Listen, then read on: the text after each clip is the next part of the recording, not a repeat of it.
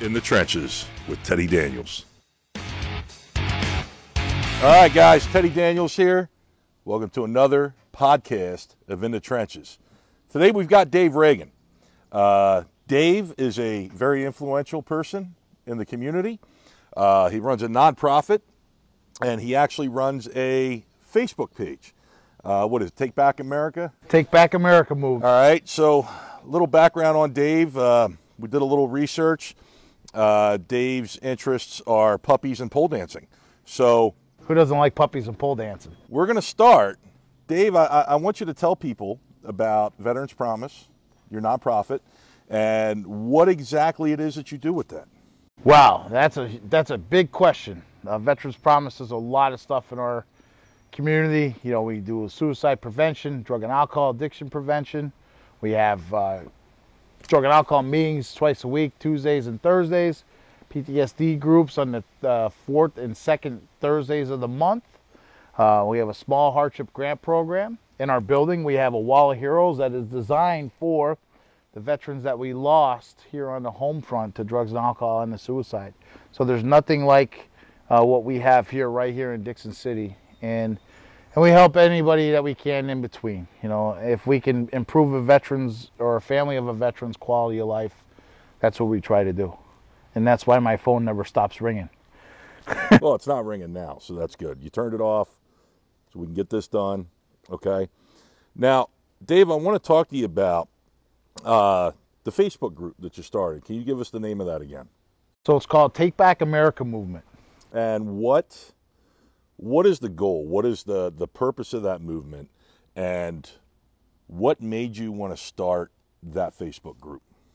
So really, what it came down, it was a very simple thing. I had a friend of mine that uh, is a local businessman. He owns a jewelry store, and he, like everybody else, is watching the news uh, and watching what's going on in our country and watching, you know, uh, how these cities are getting, you know, rioters and destroying property and people are getting killed. And he said to me, he said, Dave, what happens if this comes here?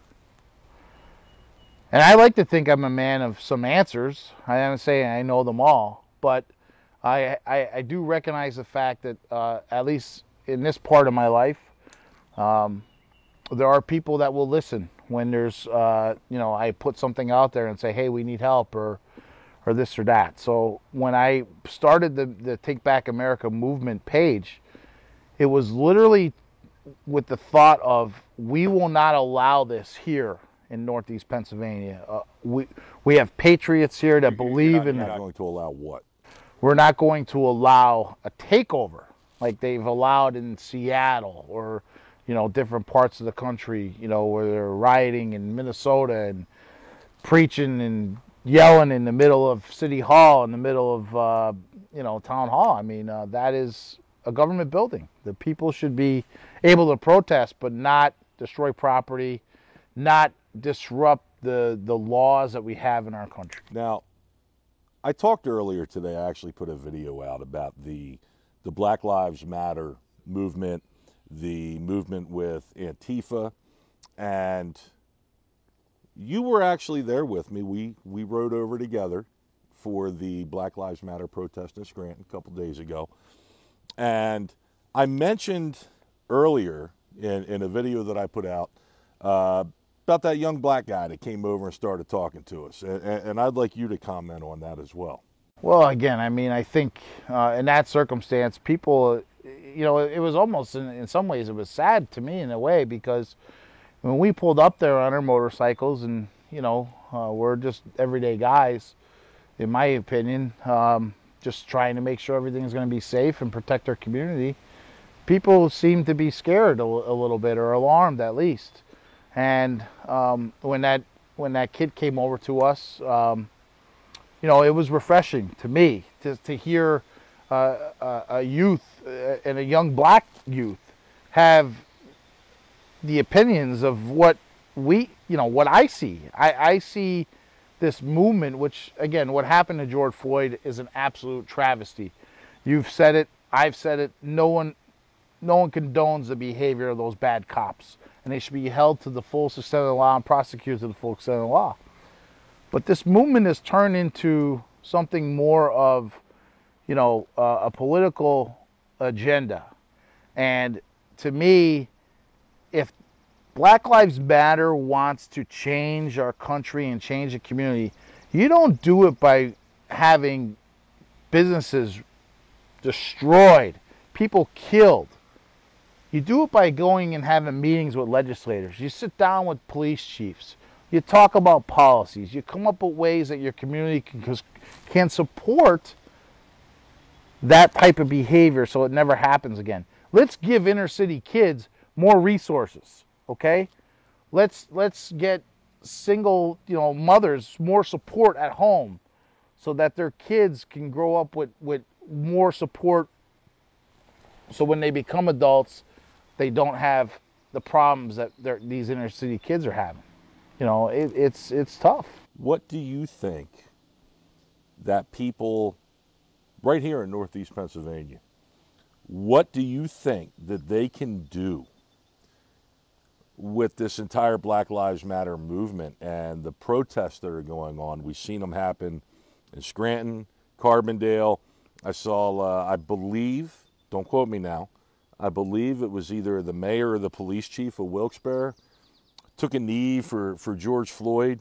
Um, and again, let, us be honest about the whole situation. Uh, guys, I, I don't bullshit people, and I'm going to give it to you straight.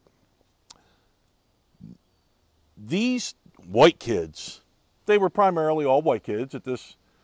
75% was white females, and then of the other 20 that looked like they came right out of the suburbs. Right. These are the same people. And, and, and the guy we were talking to there even said it. These are the same people that would call the police on him if he was walking up the street in their neighborhood. That's a problem. The, the actions don't match the rhetoric, okay? Um, and I think that's an issue. And with all these protests going on, and, and now it's starting to come to Northeast Pennsylvania, and you've seen six city blocks in Seattle being taken over what can the people here do to keep these protests from affecting them? How do we keep those agitators from doing what they want to do in Scranton and Wilkes-Barre? How do we keep them from doing that? Well, again, I think what it comes down to is it's it's a common sense thing. You know, we as Americans, we're we're we have the right to, for that pursuit of happiness. You know, in the Bible, it talks about how you're supposed to love thy neighbor. You know, to me, those are values that are very important. And you know, really, what it comes down to here in Northeast Pennsylvania is I feel that they have strong values of of loving thy neighbor, and let's stick together and let's protect what is ours. And you know, the way to do that again is you know, be plugged in with law enforcement, be plugged in with the decision makers. Try to assert yourself in a way that doesn't come across as, you know, I'm here to, to incite a riot, but I'm more here to be a part of the solution. Let's try to come to some type of solution. And and let's face it, this issue, I mean, it's never going to go away. There's always it's always going to be there and we have a responsibility in our country to uphold that all men are created equal. And and we we've said this. I've heard you say it. You've heard me say it. When we wore that uniform, we didn't see color. We only saw the uniform to the left and right of us. And and there's there's a time as a patriot, and I look at myself as a patriot, and I know you're a patriot. You know, there was a time when the protests for the NFL, right? people would criticize and say, well, you know, that patriotism is turning you into a racist because you're not supporting the well, movement. I, I, I think the big thing is when you disagree with anything, and, and I hate to turn it right or left, Republican or Democrat. I think people have become too comfortable now that when you disagree, the and they cannot defend their issue, the first thing they want to do is yell racist. And then, you know, I, I've seen this happen to so many good people, and then they got to go through their Facebook and they got to post up pictures of them with their black friends, and you know, just to prove that they're not. You, you know what? People are going to say what they're going to say. They're going to do what they're going to do. Live your life. And brother, I've been called every name in the book. Okay? And when you defeat somebody's argument and they have nothing left to say, they open that box and they pull out that golden brick that says racist. Hey, let, let's be honest, I don't look like a choir boy. Okay? Dave, either, either do you. You know, I mean, we're covered in tattoos. I got the shaved head. It's easy for anybody to point their finger at me and say, oh, that guy's a white supremacist. You know what? Kiss my ass. All right? The problem is, is people judge people by looks. They judge people on associations. And they want to lump people into groups. And, and I think the days of personal accountability are gone. Are gone. So the, the, this whole issue now with everybody rioting against the police, and now they want to defund the police. You know, it wasn't hundreds of thousands of cops across the country that did this to George Floyd. No. It was one guy With three of his buddies. and three or four that stood there and watched. Okay, those are criminals. They're being, and, and honestly, this is the quickest I've ever seen Absolutely. a case like this prosecuted. Okay, um, they're getting the justice that they deserve. I don't understand. Now they're they're they're tearing down statues. They took uh, Elmer Fudd's gun, okay, and they want to ban Chase from Paw Patrol. And, and- and guys, let me tell you about Paw Patrol. I have a three-year-old. I've seen every episode at least 150 goddamn times. Okay, and Chase is the one character that's tolerable for me. That's what keeps me going back to Paw Patrol. Uh, the fireman dog I can't stand. The one in the dump truck, the digger, is just annoying. The the dog that flies with the helicopter gets on my goddamn nerve. I can deal with Chase. Kids are older. Thank God I I can deal with the police dog on Paw Patrol. And like I said, I've seen every episode at least 150 times. So, but now they're going to take away the dog from Paw Patrol. Okay? You, you know what? We can't counterculture everything and we can't go back and everybody's offended by everything anymore. And I, and I honestly, guys, I, I, you know, we use this platform, but, but I think technology and the internet have made so many people comfortable with disrespecting other people without getting punched in the mouth for it. Okay? You didn't have this when I was a kid. You didn't have it at all. But now everybody's offended by everything. So, Dave, you, you, you know, um, with Veterans Promise, how long has that organization? How long has that been around? Because you do do a lot of good work for vets. So Veterans Promise will be four years old in November. Okay. We are, I mean, moving mountains in our community. Um, this will be the, well, this this year with the COVID, you know, would have been our banner year for sure. But um, you know, we've had some setbacks and donations and that kind of thing, and we have a ride coming up in August, and you know, we'll hopefully be able to promote that at some point. But Yeah, it'll Uh, cost you, though. yeah, I'm sure, you know, uh, piece of Stromboli. Brother, I feed you every time. That, over. absolutely, you do, and I and believe me, I ain't going hungry. Neither see he, by the way. You know what I mean? I'm. We're both healthy. Um, but yeah, I mean, uh, Veterans Promise has been around for a while, and, and we've really become, you know, again, a, a gap filler. You know, for when people just don't know who to call, they give they call us, and you know, um, we're able to help provide referrals and resources. So a lot of times, it's not even us doing the work, but just the fact that there's somebody that can answer the phone. Uh, I'll give you an example. So if somebody calls up and says, "Look, they're combat vet and they need counseling," sometimes we can provide that ourselves. But most of the time, I'm going to say, "Look, I'm going to send you to the vet center and I'm going to have you call this counselor by name and tell him that I called. Tell him that I told you to call." So now that veteran's not calling a blind call. He has a name and a contact, and he's also being told to tell them that I told him to call. So now, Dave, I'm a I'm a wounded vet. I'm 100% disabled through the VA. So your your organization fills those gaps that the VA doesn't, correct? Correct. Okay, perfect. Let people know how they can get in touch with you and Veterans Promise. So, uh, and, and hold on, before you put your number out there, just to let the women know that Dave is a self-proclaimed ladies' man. Um, he is single, there we go. and you do have a hot tub, don't you? I do have a hot tub. He does have a hot tub. Not been in it yet, but No, not yet. I got to dig my speedos out. yeah. yeah. Um, but he is single, does have a hot tub, and just built an amazing deck. Red, white, and Uh, blue. From what I understand, he has a velvet waterbed too. So go ahead, give your information out. Now, don't flood my page, ladies, with the request for Dave. Make sure you contact Veterans Promise or uh, Take Back the American Movement, right? Yeah, Absolutely. Yes, you can contact Dave on there as well. So go ahead and give him your info there. So our information for Veterans Promise is uh, the Veterans Promise NEPA Facebook page. You can also email us at veteranspromise22 at gmail. Our telephone number is 570-892-2060. And uh, that phone number will ring right to my cell phone when there's nobody in the office. Say that again. Ladies, make sure you get this number.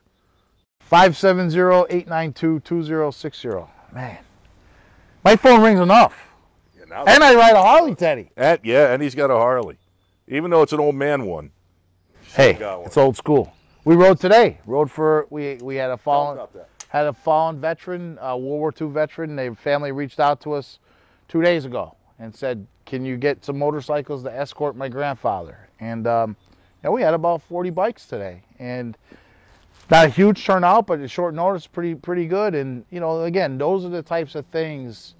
Well, Dave, that uh, a couple months back, that World War II veteran, through to this big COVID thing, they weren't going to allow him a uh, military funeral. You were involved in putting that on.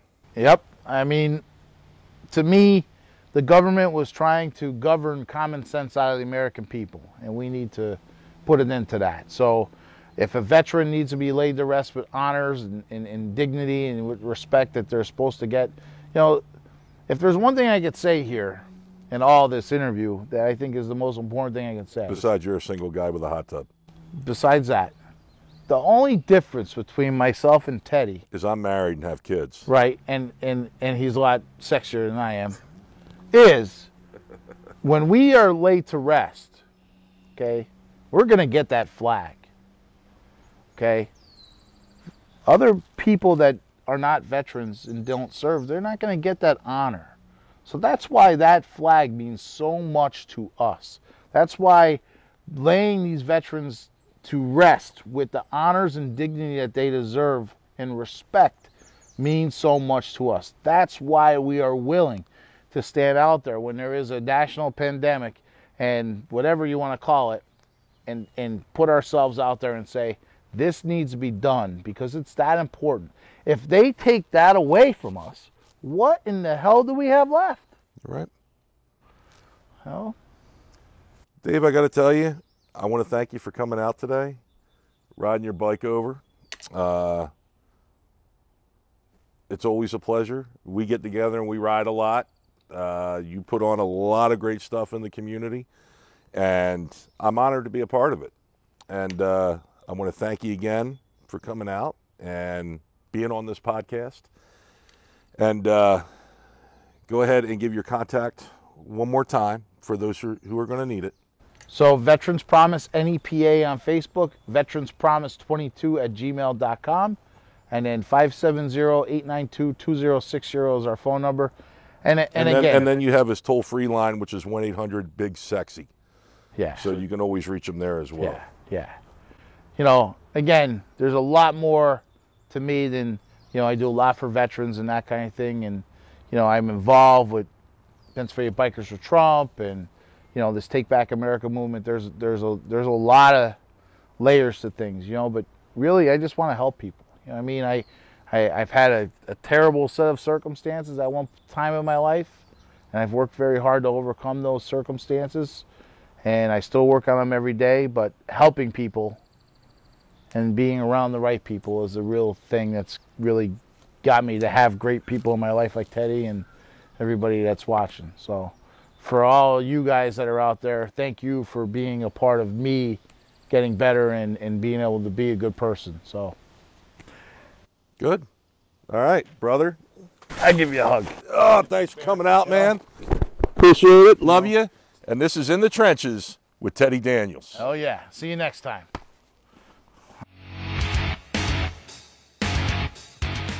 In the Trenches with Teddy Daniels.